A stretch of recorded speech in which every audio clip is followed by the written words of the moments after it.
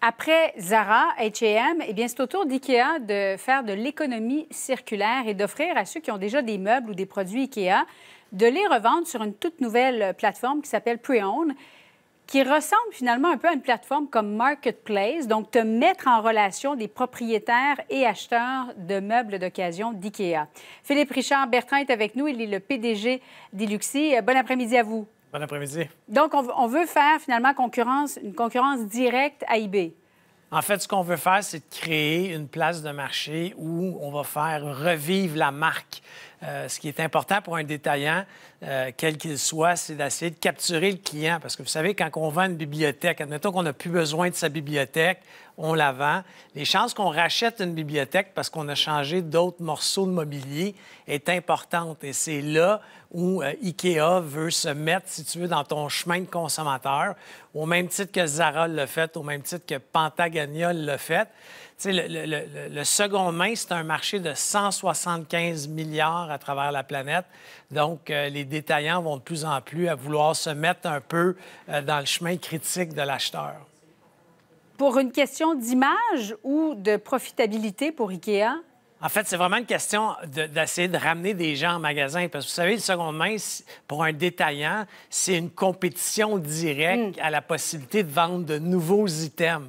Mais en facilitant entre deux acheteurs qui, qui ne seraient pas allés en magasin la possibilité de faire des achats entre eux, bien, en donnant, IKEA va donner 15 euh, en magasin aux acheteurs qui font ces achats-là. Donc, c'est une façon, on appelle ça dans le jargon un coût d'acquisition client, un CAC. Donc, on va essayer de ramener le consommateur après cet achat ou cette vente dans le magasin.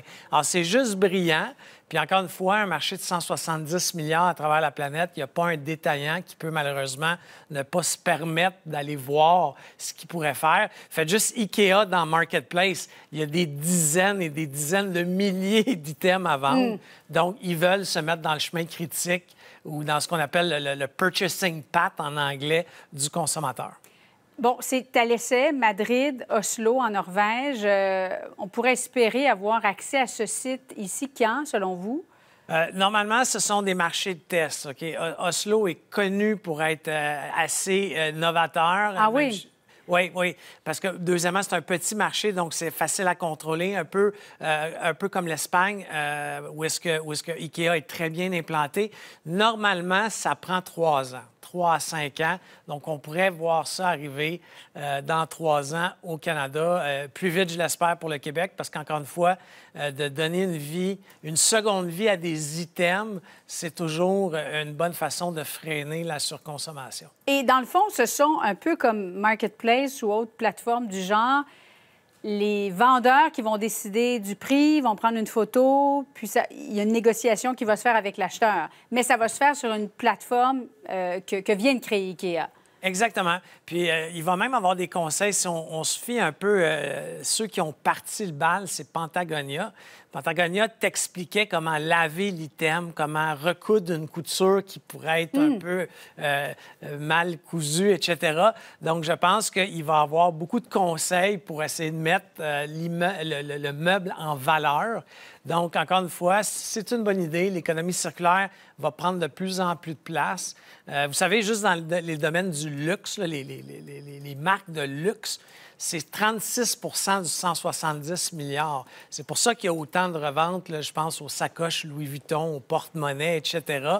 Donc, encore une fois, est-ce que Louis Vuitton va pouvoir longtemps se permettre de ne pas être dans ce marché-là? Je ne crois pas. Hmm, c'est bien vu aussi d'avoir le, souci de se soucier de l'environnement aujourd'hui. Philippe euh, Richard Bertrand, PDG d'Iluxi, merci beaucoup. Merci. Merci, au revoir.